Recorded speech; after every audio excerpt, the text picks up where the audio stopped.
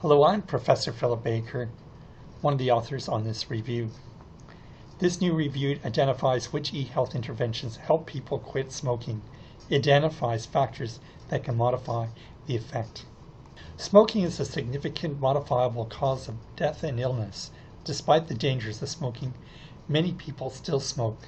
However, many of them desire to quit. Electronic health approaches for cessation, known as e-health, are increasing in their popularity as they are seen to have many advantages as they are viewed as accessible, affordable, flexible, and can reach large populations. E-health interventions come in many forms such as mobile health using of text messages tracking group support and distraction. We included randomized controlled trials focused on current smokers in the general population. Databases were systematically searched and studies assessed for quality. The quality of the studies varied from low to high, and the lower quality studies tended to report a larger effect. And so the findings from these lower quality studies must be interpreted cautiously. The internet is commonly used for cessation. Web-based interventions are, those with a unique web page.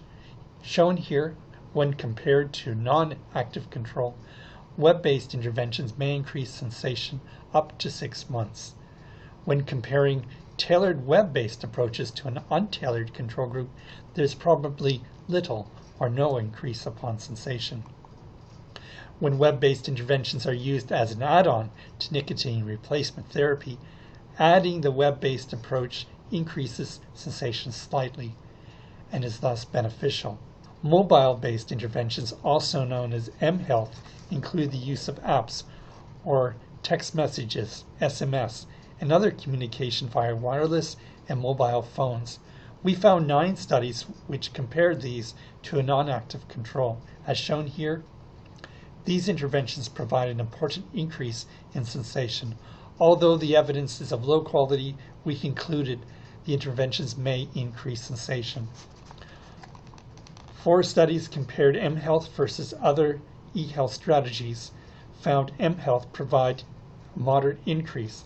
As shown here, mHealth interventions may increase cessation slightly more than other strategies. In other analysis, we found increasing the intensity of messaging from weekly to daily doesn't necessarily increase cessation. Tailored SMS interventions appears to provide an important advantage over untailored SMS interventions, nearly doubling the chances of quitting. The effect of computer-generated programs is unclear. In conclusion, there is consistent evidence that web-based and mHealth interventions help people quit smoking. The long-term effects of some of these programs is less certain. High intensity of messaging isn't necessary.